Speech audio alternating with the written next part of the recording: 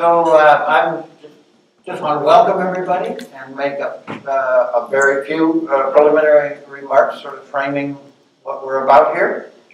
Um, we've in cognitive neuroscience, we I've been in this business a long time, uh, as you can see, uh, and so I look both backward, but uh, also particularly in this workshop, we've brought everybody together to look forward. Um, when I look backward, I think, well, we've come a long way. Uh, and I want to give you a very briefly a little flavor of where we've come from.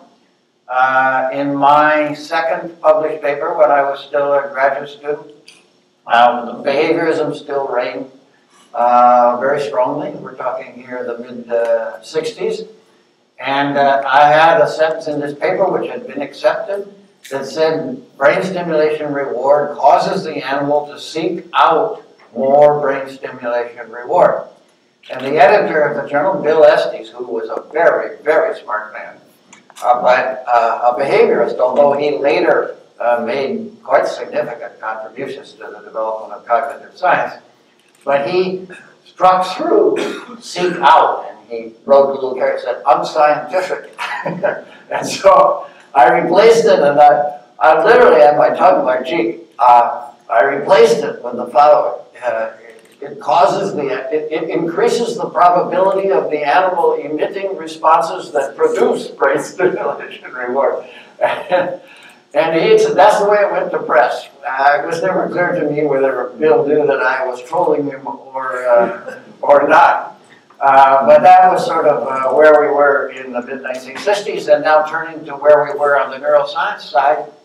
Um, uh, there was a fellow in Michigan, as I recall, Isaacson, if I recall the name correctly, who was quite prominent on his theory of the hippocampus.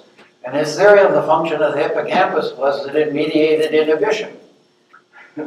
that, you say, well, yes, I don't know, that's the beginning of the theory. No, that was the theory. well, behavior, you had to either excite behaviors or you inhibited behaviors, and what the hippocampus did was inhibit them. So I, I think when we look now, we've, uh, we've made progress. Um, and uh, I think, for me at least, certainly this progress is encapsulated in, uh, in the title of this workshop, which is Cognition, uh, Computation in the Brain. I think it was actually Computation, Cognition in the Brain, but for my purposes, I want to slightly rearrange that order.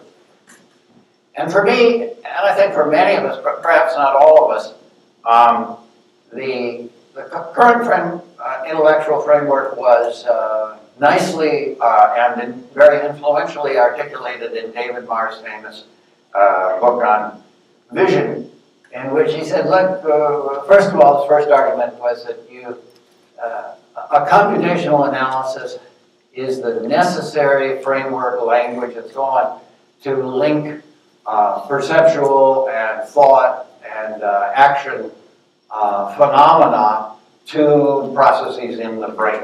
And that was, in, in its day, very controversial.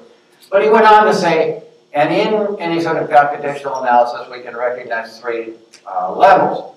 One is the computational representational level, in which we try to say, what has the brain computed, and, what is it representing uh, about its experience that enables it to act in the way in which it observably does act. That was the first level. That's roughly the level at which uh, cognitive psychologists uh, operate.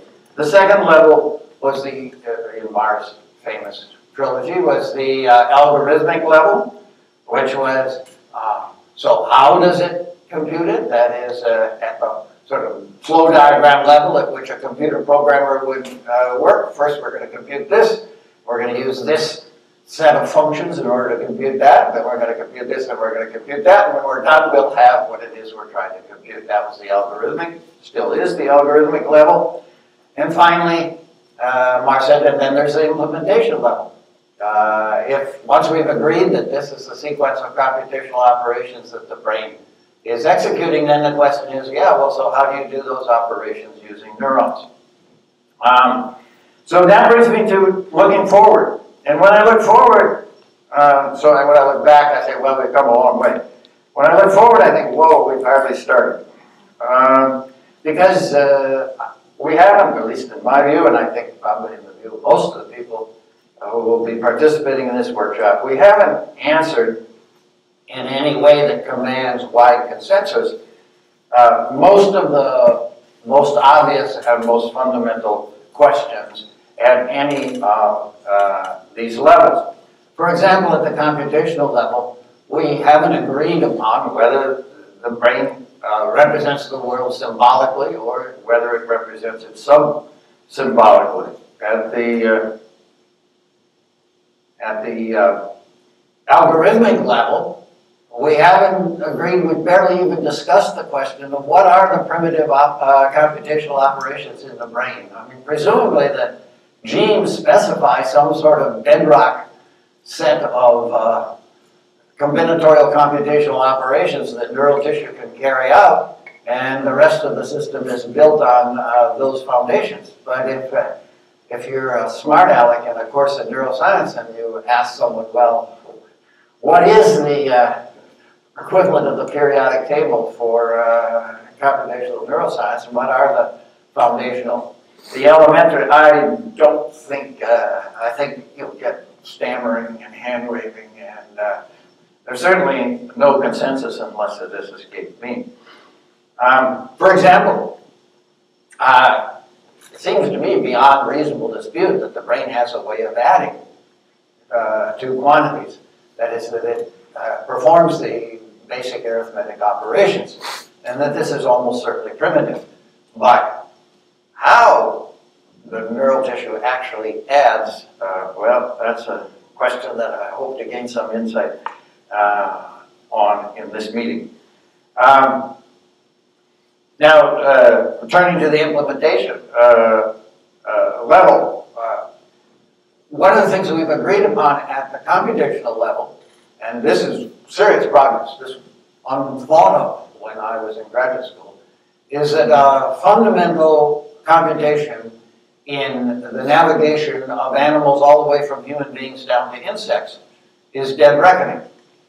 And dead reckoning, or path integration, uh, so it's more technically called, is simply adding up your displacements so that the sum of your small displacements uh, is your net displacement, and your net displacement gives you where you are now compared to where you were when you began this uh, calculation. Um, so uh, there's agreement, but it's consensus. I'm in navigation, as in every scientific field, there's a huge amount of argument, but everyone agrees, oh yeah, all these animals are dead reckoning. So they're keeping a running sum. But when we turn to the implementational level and we ask, yeah, so what's the neural mechanism that enables uh, the brain of a fly or a bee or an ant to uh, keep a running uh, sum? Uh, then we begin to stammer. So our task uh, here in this workshop is to survey the lay of the land as it is now, try and look ahead into all that unconquered territory, kind of take stock of where, where are we exactly? That's in any survey. The first, I used to work as a surveyor. the first thing is to figure out where you are. And then and then you start saying, okay, now that I know where I am, let's uh, try to look ahead here and figure out where we might lay the roads and what brush we want, need to cut through. Um, and uh, we hope this, that this workshop will contribute to our both uh, taking stock of where we are and where we think the roads ahead uh, to be built, where they, where they lie, where in this terrain. Uh, before I relinquish the podium to David, who will, uh, to David Vicario, who will uh, introduce the first uh, session, I want to give a shout out to uh, Sarah Pixley, whose formidable enthusiasm and energy and organizational skill has, has made this possible. David and Dimitri and Brian and I are listed on the programmer as the organizers, and we did all in our way make uh, contributions, but it would have happened without uh, any one of us. But without Sarah, it wouldn't have happened. So uh, I want to uh, thank uh, Sarah. Uh, good morning, everybody. I'm David Vicario. I have the distinction for one more year of being the chair of the psychology department here at Rutgers. Um, I want to second uh, Randy's thank you and extend it a little bit. Um, I want to thank my colleagues, uh, uh, Brian, Dimitri, and Randy uh, did pull uh, the weight of this as well. And in addition to Sarah, uh, the staffs of the computer science department and the psychology department and the Rutgers Center for Cognitive Science, all the yeoman service in terms of all logistics for pulling together uh, a meeting of this sort. Uh, In addition, uh, I, I want to thank uh, our uh, funders and providers of resources, the School of Arts and Sciences, uh, and in particular, the Chancellor's Office of the New Brunswick campus that provided the bulk of the funding that made this possible. And I want to thank you all for showing up. I think we're going to have a good time. The genesis of uh, this conference, in my mind, uh, began with a graduate seminar offered by Randy, myself, John McGann, who's somewhere in the audience, and Liz Torres, I don't see her right now, uh, in which we addressed the question of how is the world represented in the brain? Right? And we uh, asked that question intentionally in two ways. What is the neurobiological model and what is the cognitivist model for representation? Because that word is used in both of these fields of, larger fields of neuroscience. Right? And we're all, I think, uh, familiar with the, uh, the sort of discoveries motivated by the observations of Hubel in Wiesel and others about the way in which physical parameters of the world impinging on the sense organs uh, were then uh, broken down or abstracted in some way uh, that represented the sensory epithelium, be it the retina, be it the cochlea, be it the surface of the body. Olfaction may be another question, John. Uh, how uh, elements of that physical flux uh, got into the nervous system. And then how those elemental events were assembled into things like uh, orientation columns and hypercomplex uh, cells and the extraction of, of uh, pitch and things like this. Okay, so that there was this hierarchical process that was essentially bottom up uh, that via the, the particular characteristics of the sense organs broke the world and its states down into component parts that then were reassembled in some kind of hierarchical process in the central nervous system. Um, on the cognitivist side, the notion was the world has structure and the world has states, and the job of the brain is to determine what the current state of the world is, so that operations, like the brain was talking about, can be performed uh, on this. Now, there's no reason that these two ways of talking about it, a bottom-up one that comes starts with a physical flux, and a top-down one which starts with some kind of a world model, are in any way in conflict. On the other hand, people who tend to work in one field or another have tended not to talk to the other or to see the cognitive people as modelers or something like that. Uh, and the cognitive people say, the neurobiologists, well, they're, they're in the hardware, they don't understand the software. Right? So this has been a conflict which we tried to address uh, with a, a, group of willing graduate students and faculty in this, in this uh, seminar. Um, and uh, we made not an enormous amount of progress, but, but, we began to sort of understand and perhaps begin to see how these levels of analysis uh, might um, interact. One of the problems not addressed by either of those uh, is the problem which we sort of generically call learning and memory, whatever those are. In other words, um, in the neurobiological case, it's not the case that everything is static. We have this thing called neuroplasticity, whatever that is, and synaptic modification, whatever that is, right? These are real phenomena, but exactly how they relate um, to building higher order properties that are not based on a direct linear combination of the elemental pieces of sensory experience, uh, but instead uh, on uh, combinatorial states of the world that are represented by associative events in the nervous system. I don't necessarily mean stimulus response association, I mean co-occurrence of activity. right? So there is a model for uh, changing the organization of the hierarchical system within neurobiology that comes from such a uh, way of thinking about it. And in the cognitive world, uh, the organism may come with certain kinds of priors. Now, for instance, Randy just suggested that there is a bedrock prior algorithm for adding things up, or perhaps for dead reckoning, or perhaps evolution gave the brains this capability because it was so uh, essential for exactly how those priors, if we may call them, get updated in the brain remains a problem uh, for cognitive science as well. There's a sort of Bayesian interpretation of the brain, etc. But anyway, those are the kinds of ideas that we were talking about and that led to the idea for this conference. Now, as that was taking place, I don't know what it was, six, seven years ago, uh, whatever, at the same time, we became increasingly aware, everyone was becoming increasingly aware of the power of a pure computational approach to solve comparable problems in computer science. Uh, we now call it AI or deep learning or something like that, right? Um, and so Randy and I joined forces with uh, Dimitri Metaxas uh, uh, in computer science and to produce a proposal that we um, uh, offered to the chancellor for funding. Uh, and this is some of the verbiage from that proposal. I can't read it. Okay, you probably can.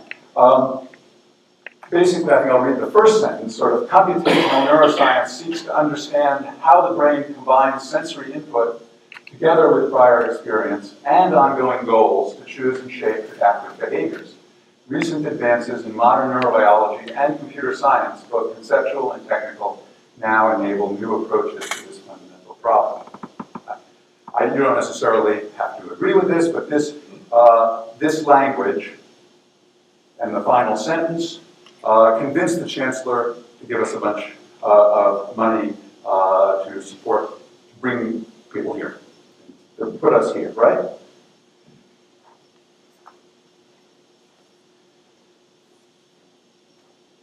So I've sort of laid out some kind of general landscape of what the questions were that motivated us, and that meant that as a, a uh, committee, uh, we through planning the actual conference, once it was funded, uh, we needed to uh, think about what we would talk about and how uh, we would organize it.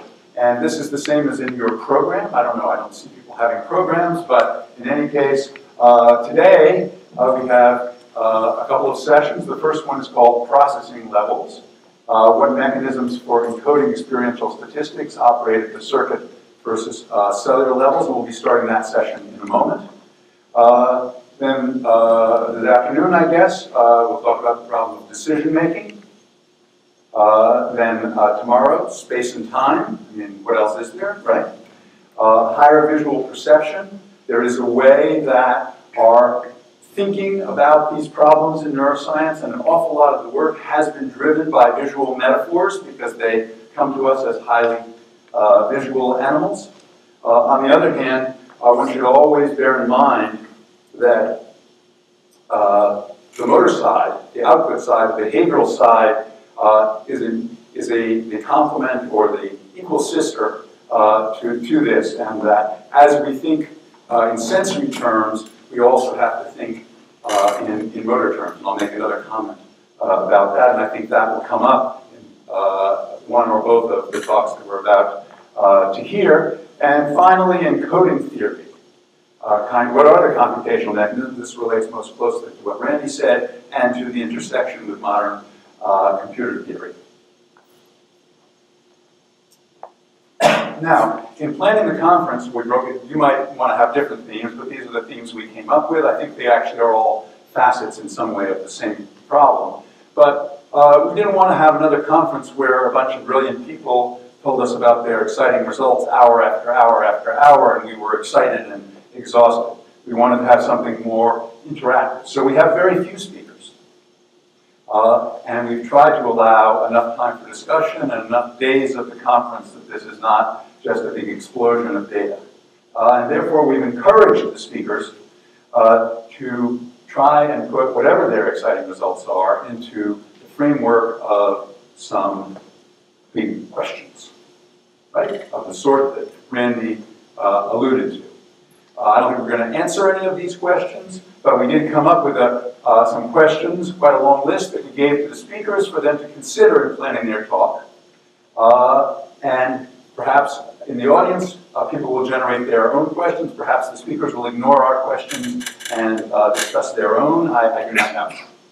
Uh, so just a quick look through here. For instance, processing levels. Well, when events are experienced, should we be thinking of cells with identities doing something? Should we be thinking of circuits of cells that somehow interact, population codes and stuff like that? Or perhaps intracellular events. There's, uh, there are little tantalizing bits of information coming out in the last few years that there may be a significant participation of intracellular events or glial events. Uh, that even though glia don't spike, they condition the intercellular environment uh, in ways that affect um, certain ions that we already know, like calcium, which are uh, important uh, for what we think of as memory processes. Uh, I, don't, I won't go through all of this, but uh, there's parallel processing. What does that mean? How do the parallel processes get together? The classic statement of this is the, the binding problem in object recognition, right? In the case of audition, or many events actually unroll, significant events unroll in time, but audition is the classic in that a single point sample of the auditory stream doesn't tell you much, right? You actually have to listen for a while.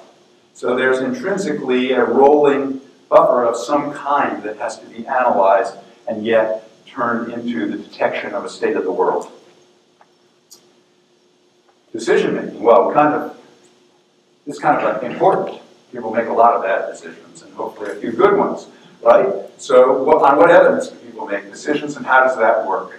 Is it in the firing of neurons? Is it some motivational thing? Is it the interaction between what we want and what we know? Uh, there's a, a, great deal of modeling uh, around this uh, that's come out of psychological fields. Uh, can computers uh, make, we learn something from computers about how decisions are made? I'm not going to read every word here, but what do we mean about the accumulation of evidence uh, that actually leads to some critical state that causes a, st a, state of the world detected by the sensory systems interacting with the goal state of the animal that actually causes a behavior to be emitted, right? Uh, these are some of the questions here in space and time that Randy addressed that are sort of fundamental to an organism uh, in the environment. How are these things represented? You already introduced that, but there's a question of how they're represented at the moment when you're having the experience of them, and then there's a question of how you put them into memory, which is the learning and memory question, which may not be quite the same as how they're experienced in real time. And then, of course, that also leads to uh, questions of retrieval and stuff like that. The visual metaphor I've already referred to as being incredibly useful, so to speak. Uh, the question is, is there something general? Uh, has some very interesting results on the parameter space in which macaque faces are coded. Uh, how general might uh, that, I mean, we can all sort of say, oh gee, there's this multidimensional space and stuff like that, but how, how powerful and how general is that? Or is that some artifact of the way uh, we think about things as, as mathematicians? Uh, I don't know. And how, while it's reasonable to think that certain parameters of the face, after all, face recognition software works brilliantly, certain parameters can be abstracted and used to recognize faces. But how general might that be for the other big problem that animals solve? It's who they're with and where they are and where is home, etc. The cognitive map of space. Is there some way that that's parameterized? Like the distance between the eyes and where your nose is and stuff like that, right? Um, and finally, encoding theory, which is, so to speak, uh, where uh, software and the brain's instantiation of algorithms uh, meet. Right? Uh, I think these are, uh, there's a question of the two-way street. How do we use what we know about human memory to make better computer algorithms? And if- is there something about the way deep learning has been so successful uh, that gives us clues about the fundamental information processing uh, problem that the brain solves? Are the methods, the internal plumbing of computational neural networks the same? Okay, uh, unfortunately, the third speaker, every session was intended to have experimentalists and uh, theorists. And this first session, uh, Dan Margoliash, Michael Long, were supposed to be complemented by Adrienne Fairhall, who comes out of the world of physics and brings a computational and modeling approach. Unfortunately, for personal reasons, uh, she had to drop out uh, recently. We were unable really to find a suitable replacement, but I do want to uh, shine a little bit of a light on the kinds of things she might have said based on some sort of review or editorials that she wrote in Current Opinion in Neurobiology. Um, these thoughts here are not necessarily original to her. Other people have had these thoughts, but um, I just want to sort of channel her voice a little bit, right? Um, so uh, in a, an issue of Current Opinion in Neurobiology that she edited, she talks about computational neuroscience, theory, modeling, and data analysis right? That's data analysis, I guess, where uh, experimental and computational approaches. There's the central truth that neural networks are driven nonlinear dynamical systems. Now, this could easily be applied to uh, machine learning systems, but I think we should see that as not just a metaphor for thinking about um, how large groups of neurons uh, work together. Uh, so the neural networks could be a physical neural network or it could be a computational neural network the identification of solu attractor solutions that might lead to uh, decisions is at the heart of classic theory of computation, and then such as memory, robust coding, long timescale integration, integration, and decision making. Well, this is what the brain does, right? Uh, and now artificial neural networks can generate complex uh, behaviors, has now expanded the space of possibilities. This relates to the encoding idea. A couple of other ideas, which I think many of us have thought about, uh, are also addressed sort of very uh, articulately by, by uh, her and her collaborators in this paper from 2016 about dimensionality reduction, right? Uh, a visual scene may be overflowing with information, such as reaching for the television remote, however, requires the extraction of only a very small fraction of what's out there, right? Uh, we could care about an infinite number of visual patterns, the entire possible multidimensional space, but we don't. We can distinguish actors' faces with ease, but uh, it's very difficult to distinguish two different images of television static, even though those might be equally different in some mathematical sense as the two actors' spaces, and yet we are reprogrammed by evolution or by statistical learning experience to be able to solve some problems very, very easily and to see which part of the parameter space we should be operating in to solve our immediate problem. And here she addresses the motor complement. We could respond with an almost infinite number of movements, but we don't. Uh, the motions that we execute are highly stereotyped and related to grasping motions. So there's some kind of finding of a place in multidimensional space on the sensory side, and there's some kind of finding of a place of motor synergies uh, on the motor side. So we might want to think about how the brain performs uh, these kinds of dimensionality reductions. Uh, finally, in kind of a cutely titled paper, The Receptive Field is Dead, Long Live the Receptive Field, uh, she uh, makes uh, the kind of point that I made earlier uh, with respect to neurobiological versus cognitivist approaches, uh, the notion of a hierarchical building, right, which has been tremendously successful. As she says, this has been gained powerful traction because, in fact, the responses are intelligible in terms of the physical parameters of the flux that the organism is in. Uh, but there are problems. The success of the basic receptive field model is based on the stimuli that you play. It's the drunk looking where the light is. Now, that problem was recognized after a while, how to make bigger basis sets. basis sets that really cover whatever the relevant space is. Then along came reverse correlation, where we, we throw what we think is the entire basis at the brain, and we ask spikes to tell us what's going on, what they like. But even that is a kind of a static formulation, that there is a pattern which those neurons respond to. They're going to tell us what it is. But that ignores the circuit level. The fact that how they respond to that pattern not only may depend on the other components, uh, such that simple receptive, receptive fields determined with simple stimuli don't add up to what you see with complex stimuli, and completely ignore the context and the history of those neurons. So there are serious uh, caveats, and the question is, uh, how do we get to a, a formulation which is not driven by the limits of our methods, but so to speak, by the limits of our imagination uh, about this.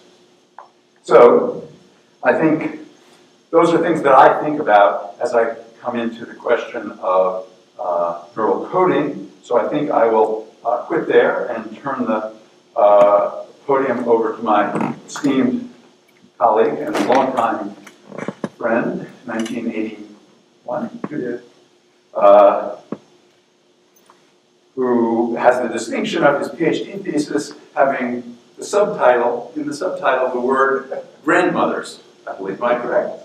Right.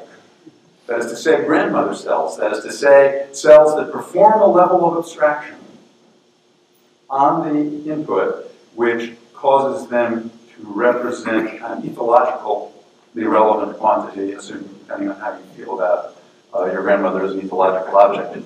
Okay.